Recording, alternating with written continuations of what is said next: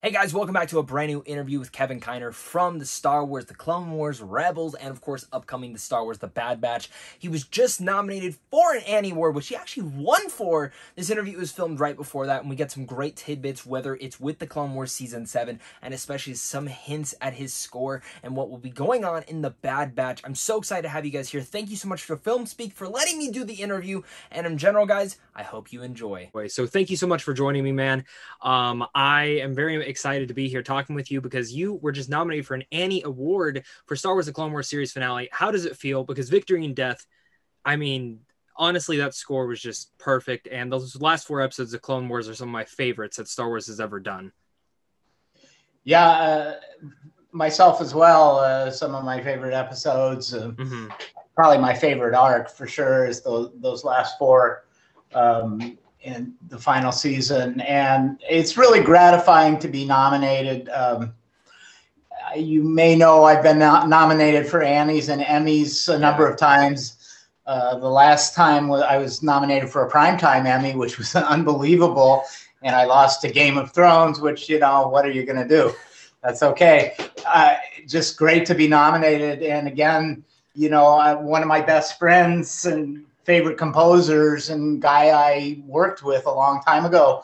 David Arnold is now is nominated in this category currently uh, for the Annie Awards, and uh, if I lose to David, you know that's fine. It's he's he's one of the great composers, film composers ever. Yeah, well, and there's something awesome about this is that like I didn't know this till um, the reps had told me, but you have written more music for Star Wars than any other composer, whether it's the Clone Wars, uh, seven seasons, uh, Rebels, four seasons, plus your animated feature with Clone Wars, and now, as we know, season one of the Bad Batch. I think this is really interesting to hear. And knowing that, um, how does that make you feel that like you have created so much wonderful music for Star Wars and really for me, honestly, like I'm a big Star Wars fan, but when it comes down to the animation, that's some of my favorite stuff. So all of your scores have really affected my life. Yeah, that's probably the most amazing thing to me because, you know, I come, I, I was affected, my life was affected by John Williams. I'm yeah. a film co- composer, possibly because of John Williams, certainly because of, you know, Ennio Morricone, John Williams, Jerry Goldsmith, John Barry. Those were my guys when I was in my 20s, and uh, and you, you know that's so so I understand what it's like to be influenced by somebody that you look up to and that you watch, you know, and you go to the, I remember the first Star Wars I ever saw, you know, like it was the first week it was out and I saw it in Westwood in 77, I guess. And, uh, to have somebody like you and other people, you know, of your generation tell me that my music has influenced them, it, that's the greatest honor. That's better than any Annie or Emmy mm-hmm. or anything that I could ever be. I, I, it's just uh, what a great job to be able to influence people's lives in, in, in that way. I, I'm I'm just really blessed and fortunate. Well, you deserve it, man. And so, like, let's throw in some fun questions. I, I, would like to know who are some of your favorite Star Wars characters, like ones that maybe you either scored a scene for, or maybe even any characters you haven't touched on yet. Well, that's that, you know that's really funny. I I've done a lot of interviews. I don't think yeah. anybody's asked me that. Really, fairly, it's a fairly typical question, right? yeah. Um, so I mean, I would have to just go on my like what popped into my head the second you asked that. It's got to be Darth Vader for uh, me. Yeah. Um, when he comes on the screen, it just you know whenever I got to score him, I was just out of my mind. Yeah, well, you and know, there's yes, like absolutely. And you mentioned Darth Vader. You know, two incredible scenes. Something at the end of Clone Wars season seven. That moment of him walking over and grabbing Ahsoka's lightsaber. All yeah. the musical cues in there, man. How do you come up with that? How, how, what does that creativeness come and flow out? Because it's just synced so perfectly. Well, um, you know, I, I, mean, it's a creative process as a film mm-hmm. composer, and at its best, which I I'm just so fortunate to have the best environment I can imagine. And I mean, I've worked at this for like 35 years or more. Uh, just the most amazing director and producer team. Um, Dave Filoni is is yeah. just a dream boss, uh, as was George Lucas back in the day. But now that that Dave's taken over, you know he had a lot of influence on that score, uh, and he was listening to a lot of things, and and he really wanted to to go more electronic at the end like that. So I mean that I've I've got to give him the credit for making that choice. Okay. Uh, you know, I I had to execute um, as well as as my sons who now co-write co- co-write much of my shows with me in the last five or ten years. Um, but you know that's part of the process when you have a really good when somebody doesn't just say oh make it dark or make it purple mm-hmm. whatever you know when somebody really gives you you know their thoughts and you know and dave is fantastic as well as you know choosing the idiom of, of let's go electronic with this he's also giving us really insane backstories you know and talking about a ahsoka and and you know her choices that she had to make and that you know she this is not just the Darth Vader scene. I mean, that Darth Vader scene kind of speaks for itself because, and also I I had to think my second favorite character to score is Ahsoka. Yeah. You know, you asked me that, so so I mean, it would be Darth Vader number one, and then Ahsoka number two uh, for for me, and maybe then Yoda, Obi Wan, Anakin. I don't know how you know Darth Vader and Anakin yeah. interact, but but you know, so there at that very end, you have Darth Vader, but there's a little bit of Ahsoka's theme sneaks in, mm-hmm. if eh, you know, in there, which is so cool to be able to do. Um, and and also just listening to Dave's backstory of you know what the emotions are, especially in scenes previous to that, like when Ahsoka is walking through the graveyard, and when she's making the choice not to kill clones you know, I mean, she's up against incredible odds, and she has to choose, even though it, it probably is going to mean that she's going to die.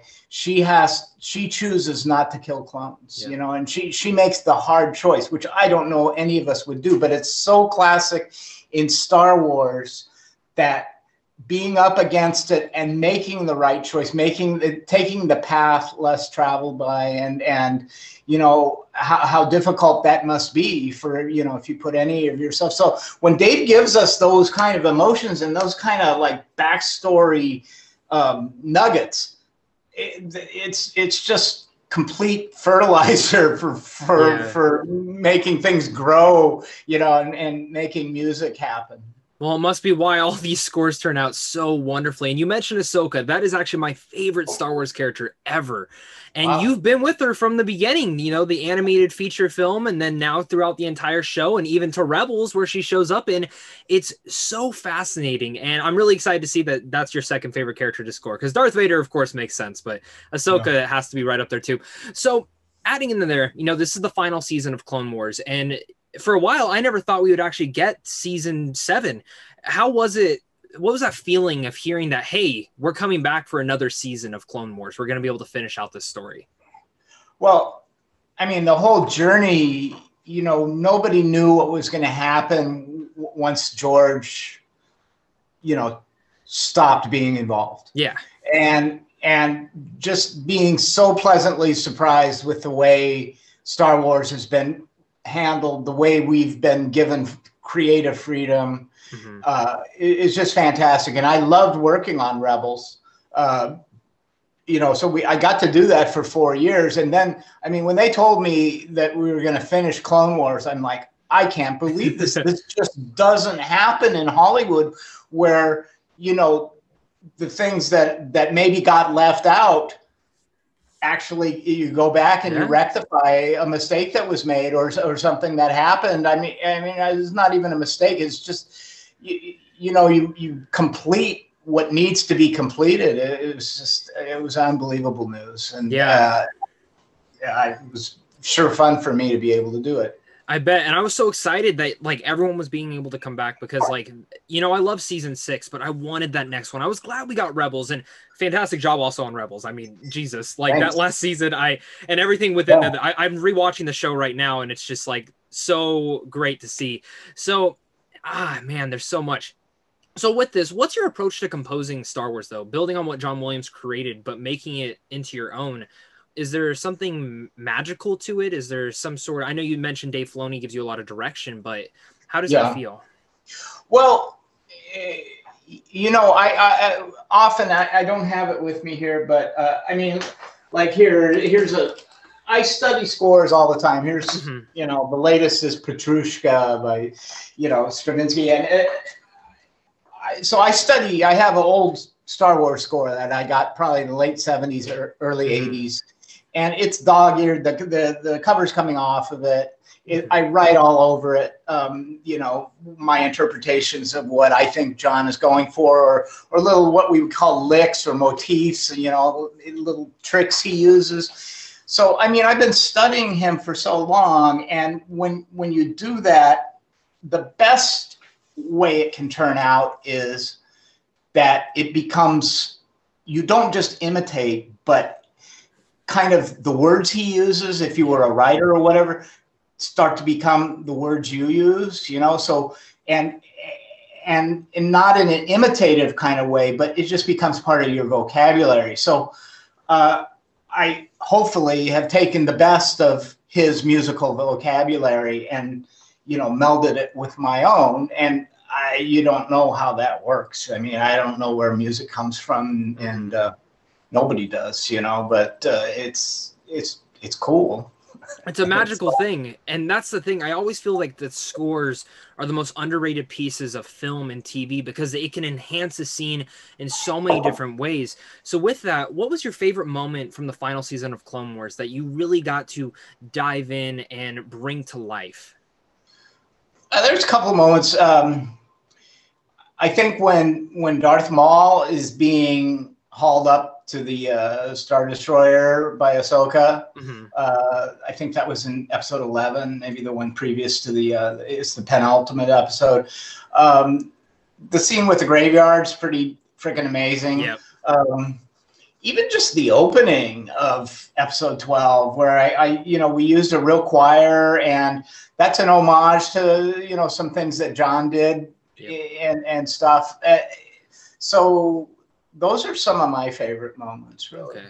Yeah, because you brought Order 66 to life in a different area yeah. that we have never seen before. And that right. was the thing that I was waiting for this entire season. I didn't think, I honestly, as the season started, I was like, I don't think they're going to do it. I don't think they're going to do Order 66. They'll hint at it. Yeah. But then it got there because the Darth Maul and Ahsoka stuff ended pretty early. I was like, we got we got two more episodes here where yeah. are they going? So yeah. it's very interesting. Um, no, and, and, I think in the movies and yeah. stuff, at least in the in the original uh, six films, they you know Order sixty six was there, but it, it wasn't fleshed out the way no. that, that you know we got to flesh it out in Clone Wars, especially. And it's a that's a big deal, you know, and and and being able to to score that is just i mean yeah, i'm just right in the canon now and yeah. it's, it's such an honor well, and it comes from when you're also a big fan of Star Wars, so you're all into that. You're taking it all, yeah. and you're able to bring something into this world. And like I'm, Clone Wars season seven, those last four episodes, like if it was, if I were to say that that was a movie, that would be like my second favorite thing of Star Wars ever. I, I was utterly blown away with it, and your score was a big part of that. So, out of the many different Star Wars series, there are so many that have been announced now because of Disney Plus. Are there any that you're interested yeah. diving into, or any of the ones that you heard about? You're like, that was that's pretty interesting. Well, I, as you probably know, I'm I'm currently working on Bad Batch. Yeah and and so and, and I'm that's really really going to be fun. I think everybody's really going to enjoy that, mm-hmm. and, and of course anything that Ahsoka's involved with is always interesting to me and and stuff. Uh, so, you know, I, I don't I I don't read a lot of the press, and I, I'm not really even aware of stuff. I I've, I've sort of been always a I, I'm not on social media. Mm-hmm. Um, I've kind of been a tunnel vision person all my life. Is I've worked a lot, and so I kind of focus on what's in front of me. And right now, I'm I'm just I'm doing my dream job, so it's great. Well, that's awesome. And I honestly, I claim you. I, I hate social media. I hate having to be on it to follow all the news and see what's coming out. But that's yeah. awesome that you get to really like tunnel vision and, in a sense, really much just hone in and keep studying what you are so passionate about. And to really kind of come to an end of this all, is there anything you can hint at your score uh, for the Bad Batch? Anything you're kind of going for with that? I know it's a couple months out, but uh, I'm very excited for the show, and I'm sure many people are looking forward to it as well. Yeah, in fact, uh, we're just starting to work on the soundtrack, and, mm-hmm. and there's going to be, I, I don't know if I can really say, but uh, there's definitely going to be soundtrack releases that okay. are concurrent with Bad Batch. And as Bad Batch comes out, um, and I'm kind of going over. It's, it's, funny because I've been working on it for a while now. Yeah. I forgot about some of the cues even that I did back then, but uh, um, at the start of Bad Batch. But uh, I think you're going to find um, maybe not quite as electronic as the end of Clone Wars, but there's definitely going to be an electronic influence. The um, I, th- I think Bad Batch is going to be much more. Um, is, is score wise, it's, it's going to continue the journey of of Star Wars music, specifically that I compose and I mean, I've said so much. Mm-hmm. And I've, I, you know, as you say, you know, I've, I've been fortunate enough. I mean, you don't really go for records in this business, yeah. but I've written more Star Wars music than anyone. Is that's amazing, but it's also something you can really burn out on. You can get really stale, and and myself and my sons are are really cognizant of that. Um, so the music is pushing forward in terms of modern sounds, but also in terms of uh, uh, orchestral use and combination with modern sounds, um, being experimental. I, I, can tell you, I play this thing on it. Um, this is like a kind of like a cello, but it's it's okay. fretted like a, a, guitar, and it has six strings. Uh, it's called a guitar viol, and um, it's very soloistic uh, kind of sounds maybe like an Asian violin or viola or something mm-hmm. like that. Uh, but I, I use I, I, use this instrument not a ton, but in the appropriate places, and so there's a very spare kind of part to some of the score. Not, not all all of it, not not even a lot of it, but. Uh, so you know, I, I, I would just say I'm keep pushing forward and keep mm-hmm. keep trying to be interesting. Well, and you keep doing that with every single score you've done. It's always different and going, but always connecting at the same point. So I'm so excited to hear your score for Bad Batch, especially with you talking about that instrument. Like that just sounds like it's going to be something unique. So thank you so much, Kevin, again for joining yeah. us for this interview. Congrats on your nomination again. I know you thank said you. that your friend is up as well. I can't say enough that I hope you win because I love Victory and Death and it's it's fantastic. So congrats right. again, man, and can't All wait right. to hear your score for Bad Batch. Uh, it's been my pleasure. Nice to meet you, and uh, may the force be with all of us.